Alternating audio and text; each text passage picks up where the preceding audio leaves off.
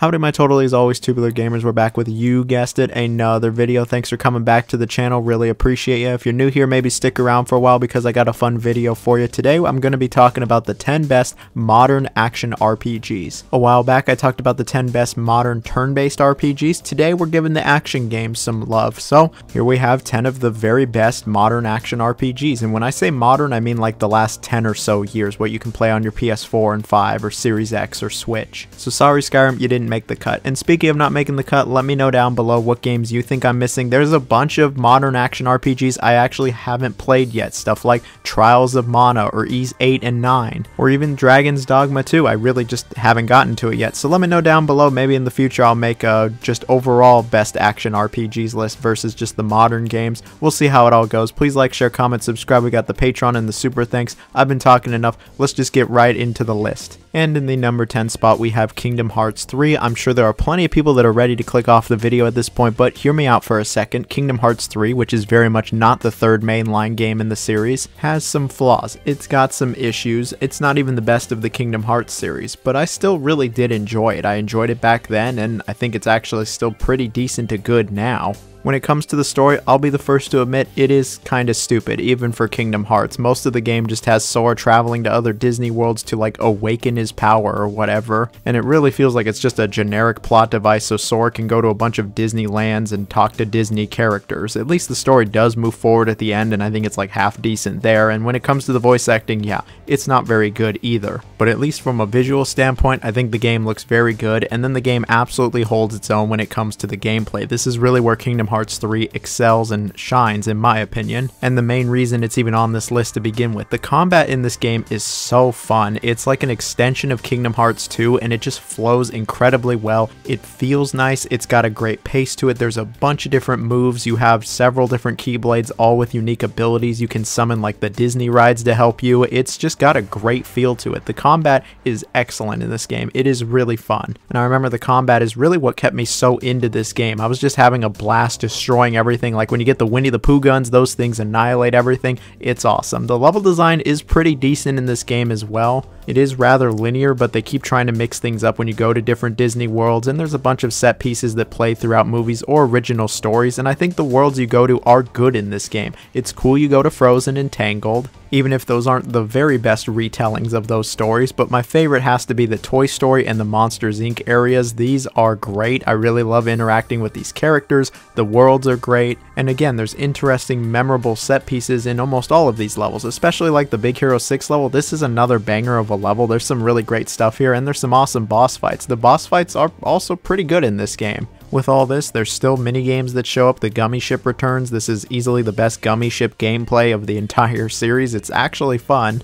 And yeah, maybe I've painted a little bit of a picture as to why I actually do enjoy Kingdom Hearts 3. Yes, it is rather easy, and even on the hardest difficulty, it won't exactly challenge you, not like Kingdom Hearts 2 did, and the story isn't the best, but I still do recommend this game if you like the series, if you want to see Disney and Final Fantasy come together. Oh wait, yeah, there's not really any Final Fantasy here outside of the DLC. Well, if you want to see a bunch of Disney characters and Sora show up, this is the game to do it. I think it's an enjoyable experience. It's certainly not perfect, but good time nonetheless. And so here's another game that wasn't crazy well received, but I love it, and that's Fallout 4. Now, when it comes to my argument with Fallout 4, it's actually not that different from Kingdom Hearts 3. Yeah, it has flaws, and it's certainly not the best of its series, but I absolutely still really did enjoy my time with it and I think it's very much able to overcome its issues and still be a pretty good game. When it comes to the story, you actually do get to see the bombs going off, which was cool, but it's really about you exploring the wasteland looking for your son, and I think the initial premise is pretty intriguing and it is good. Unfortunately, though, it does kind of fall apart by the end and the ending in particular isn't amazing. When it comes to what I think is amazing in this game though, I think the sense of exploration and the general gameplay is pretty good. This game has that Bethesda-ass mentality that people love these games for, where you just go off into a direction, and find stuff, find rewarding, meaningful content, whether it's new characters or some loot or a quest even. You get to just explore wherever you want, and the game is able to keep you entertained. Of course, it is a first person shooter for the most part, and the shooting is okay in this game. It's not like wonderful. You aren't going to be like, oh, I can't wait to get into another firefight, but it's functional, and it's certainly the best of the Fallout franchise. And the RPG mechanics are just okay. I don't love that there's no karma, and the dialogue system leaves a lot to be desired, but at least you can still build out your character, so that's cool. But what really makes up for all of this is just being able to explore the open world, and do meaningful, intriguing, memorable quests, whether it's the main quests or the side quests with the many factions. There's a ton of memorable quests here. Sure, when it comes to the quest design, it's not like crazy exciting, but it's memorable above all else. And all of this comes together to create a really solid, somewhat addicting gameplay loop. You'll want to explore all the areas, see everything that there is to see, talk to as many people as possible, and do as many interesting quests as you can. Sure, you can absolutely pick Fallout 4 apart. You can be like, the shooting sucks, the RPG mechanics suck, the presentation's lame, it's super buggy and doesn't work, but I think despite all of that, everything does come together actually rather well. The game is greater than the sum of its parts. It's when it's all together as an oiled machine that I think the game absolutely excels. And again, that sense of exploration is really great. I love just going off into any direction and finding stuff. I very much remember the first time I found the pirate ship or stumbling upon a new companion and then doing their entire quest. The companions are actually awesome in this game. A lot of these are some of the best companions of any Fallout game. I really did enjoy them. They're likable, they're memorable, and I really wanted to see where all of them would go. The game also has some pretty solid DLC that is very much worth playing in my opinion. I don't think it's that hot of a take to say that I think Fallout 4 is the best Bethesda game since Skyrim, like Starfield and 76 really didn't do it for me. And despite Fallout 4's issues, I very much still love this game. I remember playing it like absolutely non-stop when it came out and even came back to it not that long ago after Starfield came out and went, wow, this is so much better than Starfield. I love exploring the wasteland. It's so memorable and interesting, and the companions are great. The quests are way better, and it's just a better time overall. If you haven't tried Fallout 4 and you like open world action RPGs, it's worth playing. And so here we have the only multiplayer game on the list, and that is Monster Hunter. Now, which Monster Hunter am I going with? I'm cheating and I'm choosing two. I'm choosing World and Rise both of which are excellent multiplayer games that are absolutely worth your time. When it comes to the Monster Hunter series, you know, it's been around quite a bit, but it really was Monster Hunter World that got the series super popular. I'm pretty sure it's Capcom's best selling game ever at this point, and it very much deserves it. It maybe is the best Monster Hunter gameplay of them all, or it could be Rise, where they improve it and let you jump and swing around. What I'm trying to get at is the Monster Hunter series, it doesn't really need much of an introduction. It's where you and up to four people go hunt down some big big ass monsters. There's a bunch of different weapons here. There's tons of RPG elements. There's seriously so many monsters in these games to hunt down. You have content for almost ever. And it really never gets old thanks to just how many different monsters there are, environments, and how many other factors come into play. If you're getting bored with it, try a different weapon. A lot of these play differently. Like the hammer plays very different from the great sword or the bow and arrow, which has a completely different play style. There's a ton of crafting here. Some of the best crafting of like any game like I just love how rewarding the crafting is, just getting better gear, and it creates a very addicting loop. And I know plenty of people that have gotten absolutely sucked in and have not played anything else for months. I know people with over a thousand hours in these games because there really is just so much to do here. And sure, these games don't have the fastest start to them, especially World. It takes a bit of time to get going, but once it gets going, it really gets going, and the pacing actually becomes really great in these hunts where you're constantly just hunting down these monsters, and it's just engaging rewarding gameplay through and through. On top of this, the presentation is great in these games, especially World. World is a real looker. And then there's the awesome DLC Iceborne for this, one of the best DLCs like ever, adding a bunch of more monsters, weapons. It's just a really great time. And I haven't played a stupid amount of these games. I'm still playing World even nowadays just to try to catch up on it before the new Monster Hunter. In the future, I definitely want to do a video dedicated to Monster Hunter and what I love about this series, but Monster Hunter World and Rise are very good action RPGs that are certainly worth your time, especially if you have buddies going with you. I mean, they're okay by themselves. It's probably the biggest flaw is that I don't think Monster Hunter is amazing in single player, but when you're with some friends, oh, these games are so good and are absolutely worth your time if you haven't tried them at this point. And here we have Cyberpunk 2077, and this is very much after all of the updates. I, like many others, got Cyberpunk at release and went, what the fuck is this? It was super broken and was lacking in several key areas, and I couldn't bring myself to finish it after like 7 or 8 hours and some game breaking bugs that were really wrecking my entire experience. I just gave up. But a few years later, I came back. There's an awesome DLC that's been released and they've updated a bit. Maybe I'll try it again, and oh yeah, this is exactly what we all wanted. Not only is this what we wanted, but this is what we expected the 1.0 release to be, and it's a shame that it wasn't that, but you know, better late than never. We've got a pretty great game here now. Taking place in 2077, this game has a really intriguing premise about V, your customizable character. You even get to customize your background, and I'm really not going to say any more than that. I actually think the story, it was good even when this game first came out. It's even better now. The story, the characters, the writing are all very memorable, intriguing, and just different from like any other game I feel like I've played recently. There's been plenty of other Cyberpunk games, but none of them hit like 2077. The story and the writing are really good in this game. The world building is also very good. But the big thing is that the gameplay has been completely overhauled from that original shit show. It's a very solid, capable first person shooter with plenty of RPG elements, and the RPG elements are actually good. I actually think the combat is quite enjoyable in this game. The shooting feels nice, it's satisfying, there's a bunch of different weapons, and depending how you build your character, it can be a totally different playstyle when it comes to the combat. I like how much you can customize your character, and again, the RPG elements, they're decent now. Crafting is actually worth a damn. And when it comes to the open world and the sense of exploration, it is actually pretty good. Driving around in the vehicle feels nice now, and there's a bunch of quests to do, whether it's the main story or all of the side objectives. It's all very much worth doing. The side objectives are actually interesting. They're not as good as the main quest, but they're actually good. They're not just generic cookie cutter shit. I mean, there is some of that, and even some looping quests, but a majority of the side content is actually worth doing. You'll want to see everything that there is to see. It's very much worth your time, in my opinion. The presentation is still very good, and most importantly, the stability of the game is fine. It's not just crapping out of control, there's not a bunch of game breaking bugs, it's not one of the worst releases ever anymore. It is a very stable, functional product that I can actually recommend you. The DLC is very good. It has a great story and it really just expands on the world and the gameplay of the base game. I have no problem recommending this game at this point and I totally think it's worth playing. You know, all these years later, the game has been fixed, but not only has it been fixed, it really has been just completely overhauled and is absolutely worth your time. It is one of the best action RPGs ever, and I really enjoyed it. But man, that 1.0 version is always going to stick in my mind. Like, why did they launch the game like that? You know what? T today's not the day to talk about that stuff. Right now, I'm just going to say Cyberpunk 2077, good game now, worth your time. And so here we have Xenoblade Chronicles. Now, a few people asked why I didn't have Xenoblade Chronicles in the turn-based RPG video, and that's because I think Xenoblade Chronicles is an action RPG. Like, I'm not crazy in thinking that Xenoblade is an action RPG, right? Complete with like timers, kind of like an MMO. I, this isn't turn-based. Anyway, we have Xenoblade Chronicles. Now, which one am I going to go with? My favorite's always going to be Xenoblade Chronicles Definitive Edition, but I'm also going to throw in Xenoblade Chronicles 2 and 3 here. All three of them are available on the Switch, and they're all worth playing.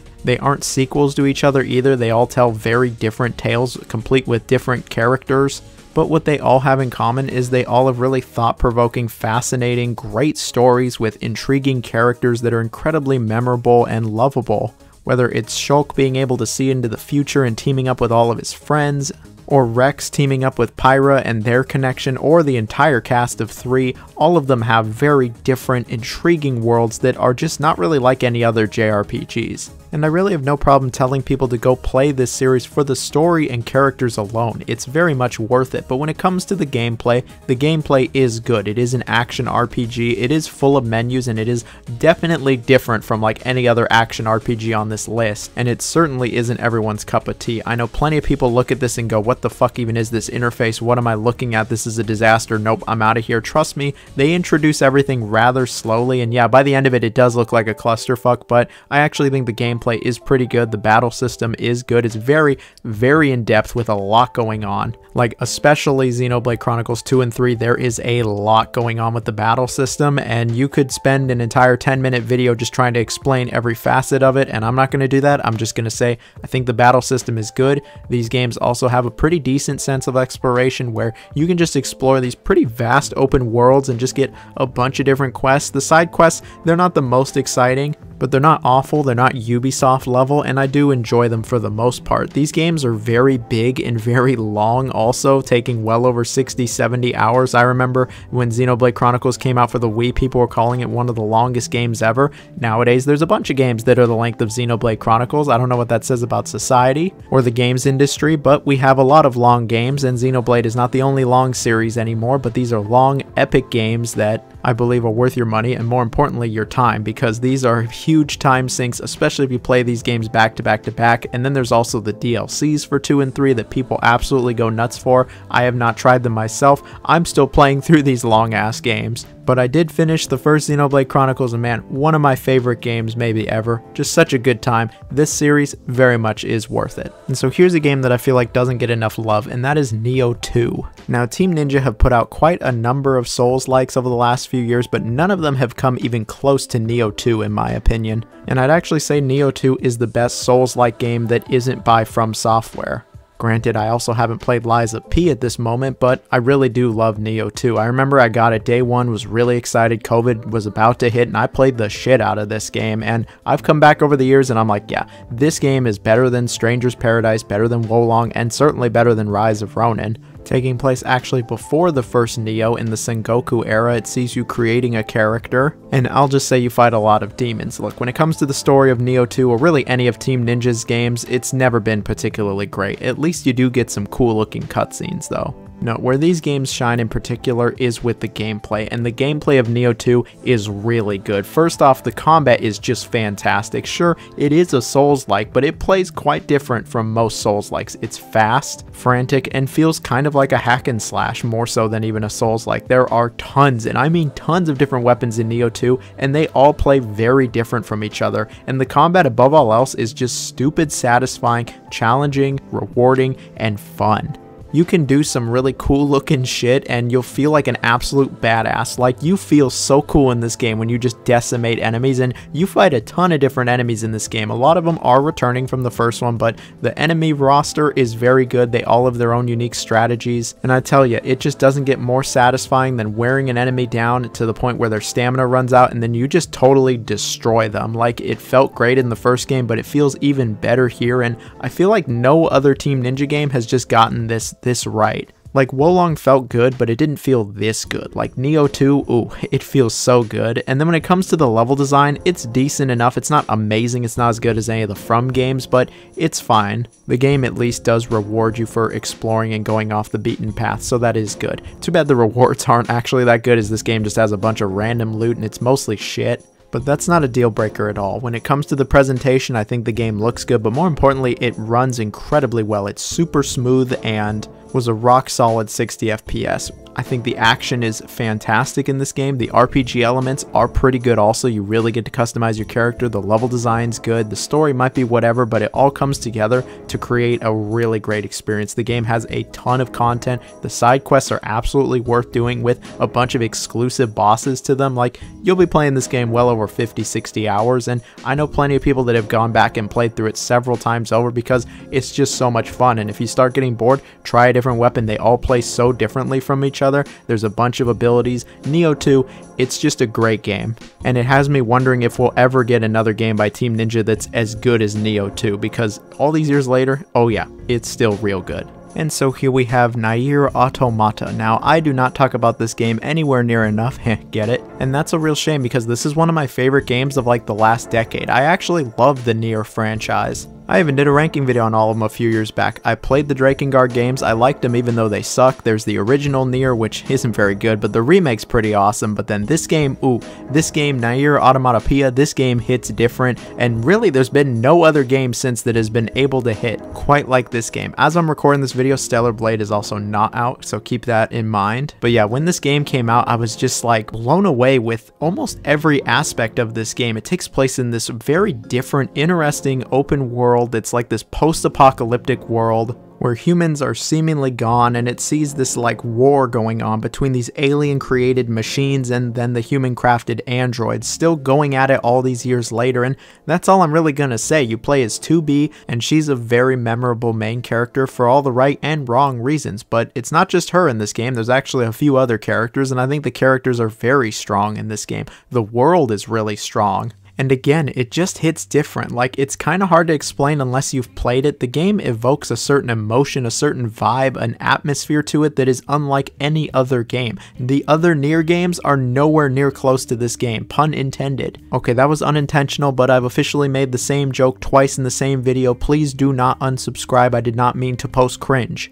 But you know what's not cringe is the gameplay of this game. Now, Nier and the Drakengard games really shit the bed in my opinion when it came to the hack and slash gameplay, and this is where this game actually excels because it was developed by Platinum Games who make some really awesome hack and slash games, and yeah, the hack and slash combat is very good in this game. It's satisfying, it's rewarding, there's depth, the combat is fun and engaging. There's a bunch of different elements going on here, and it's able to stay interesting throughout the game's pretty long runtime. There's plenty of RPG mechanics mechanics in here as well. It's not just a straight hack and slash, and then you have this open world to explore. There are plenty of side quests that actually give you a lot of rewarding loot like new weapons and abilities and you'll want to do a lot of them especially if you're going for all the game's endings. This game has a ton of different endings like 20 something and I really like all the endings and I think it's very much worth it to even 100% this game. It's one of those few games that I think is worth 100%ing because it's so rewarding, it's so fulfilling. The plot while it is a bit slow, it is really rewarding and it does have a lot of great payoffs, especially if you go for the other endings or if you've played the other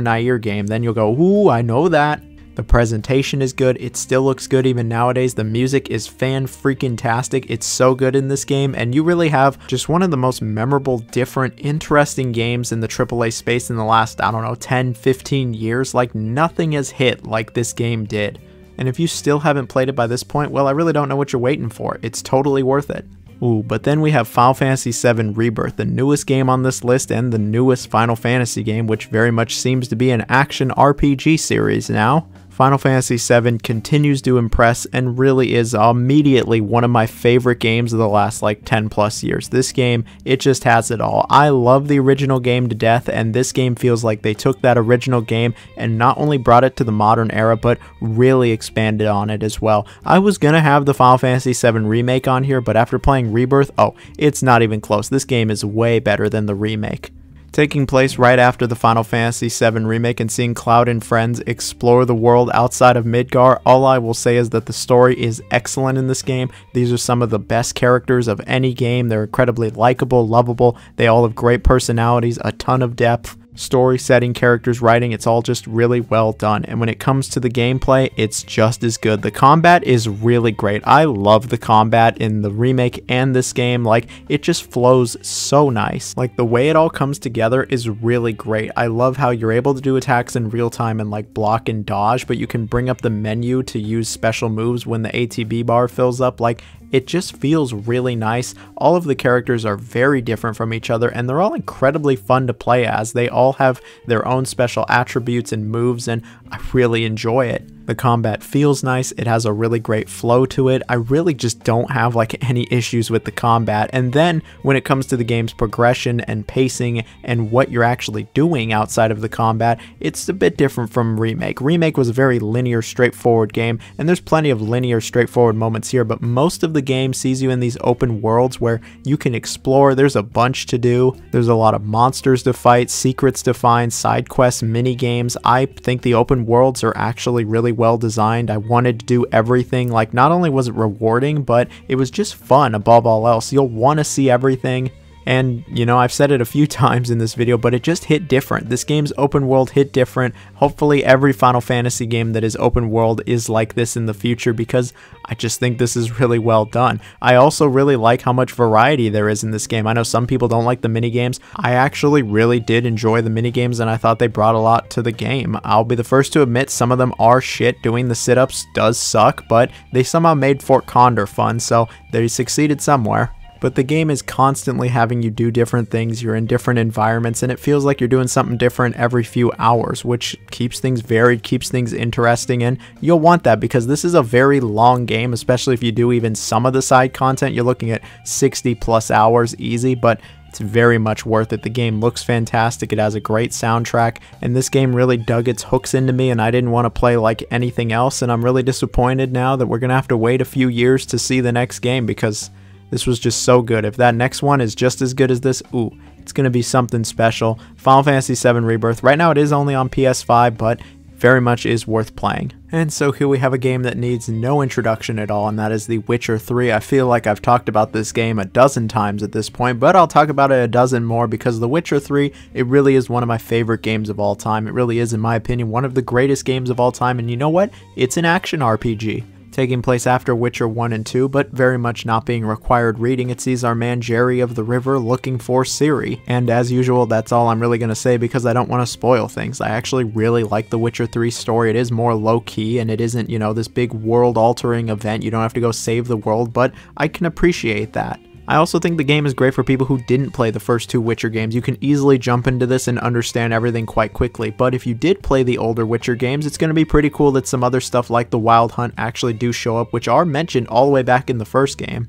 The world of Witcher 3 is really fleshed out and all of the characters are pretty solid, especially Ciri, she's really great. And then when it comes to actually playing the game, oh it's great, it really is one of the best action RPGs of them all. The game has a pretty sizable open world that you get to freely explore and go do basically whatever the hell you want. There's obviously the main quest and plenty of people that want to kill you, but you are free to explore to your heart's content, and there's a bunch of memorable side quests that are here for you to find. There's also hunts where you go hunt down monsters, and these are really great. I actually really like the hunts and had a good amount of fun doing literally every single one. I tried to do as much side content in this game as possible because it's all rewarding, it's fulfilling, it's interesting, it's almost as good as the main quest. Like, so many games have just shit side missions where it's super generic or cookie cutter. It feels like you're checking off a box. Not this game. The side content was really praised back when it came out, and almost 10 years later, it's still really good now. It's some of the best side content you'll find in any RPG.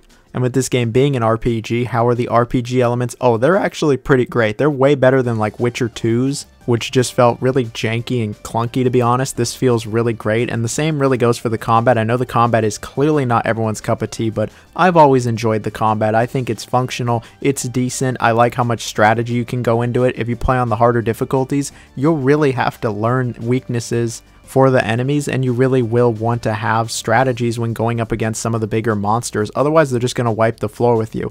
I very much enjoyed the combat. I enjoyed the RPG elements. The presentation was great for the time, still looks good nowadays. The DLC is phenomenal, just like Cyberpunk. The DLC is very good in this game. And with all that, you really have one of the greatest games ever. Everybody has praised this game to hell and back, and I'm going to do the same and just say very much is worth playing and is one of the greatest games ever. And so here we have it, the best modern action RPG of them all, and well, I'm to cheat and just say all of From Software's Souls games, whether it's the Dark Souls remaster, Dark Souls 2, Dark Souls 3, Bloodborne, and of course Elden Ring, in my opinion, modern action RPGs do not get better than these games. I very much love the Souls series to death, and I noticed when I was initially making this list that, yeah, Dark Souls and Bloodborne and Elden Ring were kind of dominating the list, so I just put them all together, and here's my number one. I mean, when it comes to action RPGs, it really doesn't get much better than this series. Like, all of these games are phenomenal, and they very much are all worth your time. I know that Souls likes or Souls kinds of games are not everyone's cup of tea, but I think if you have even a mild amount of interest,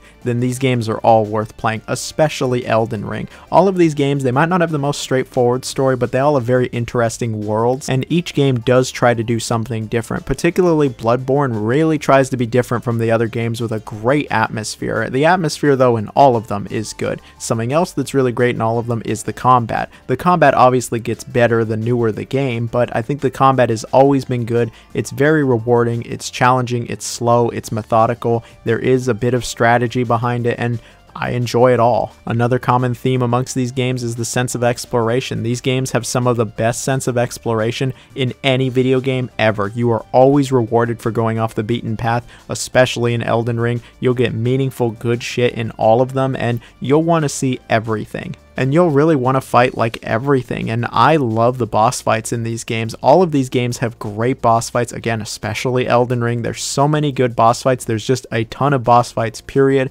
There's a lot of enemies. They all have their own strategies, and you'll need to fight them a few times to really understand them. And that gameplay, man, it's so rewarding. It's so fulfilling, and it just all really comes together. I love the RPG side of things as well, how you get to really customize your build, your character, how you want to play the game it's all very customizable. Of course, in Elden Ring, it's the most customizable. Look, of all of these games, it's clear Elden Ring is my favorite, but all of these games are very good, and even if you've played Elden Ring, that doesn't mean you shouldn't go back to the old ones because you played the best one. No, the older games are very much worth playing, especially Bloodborne, which for some reason still hasn't come to PC. When I was with SIE, there was never any talk of it coming, and so who knows if it'll ever come to PC, but Bloodborne is still very much worth playing, even at its 30 FPS, that stuff doesn't really bother me. All of these games look great, they all have fantastic worlds and atmospheres, they're all interesting, they all have superb gameplay, and there's very clearly a reason that there's a series known as the Souls-like series now. These games really were trendsetters, and so many other games have fallen in their footsteps. I mean, I even had Nioh 2 on here, which is also pretty similar, but nothing's ever going to beat the From Software games, to me at least. Maybe in the future, but at this time, no. The From Software games are the best action RPGs you could play not only in modern day, but maybe of all time. Like, video games don't get much better than this, and if you really don't like these games, well, that's a real shame because you're really missing out. But hopefully, there was something here on the list that you would enjoy and you'll like, and hopefully, at least one more person will give one of these games a shot. I'm sure there are plenty of games I missed, so let me know down below. I didn't even include any of those big Sony games. But I don't know, I didn't want to really include those. I wasn't really feeling it. So I guess if you made it to this part of the video, you can comment concrete as in what's in the ground and buildings. That's our secret code word you made it to the end of the video. Thank you so much for watching. I really hope you all have a wonderful day. Hope you enjoyed the video. Bye-bye now.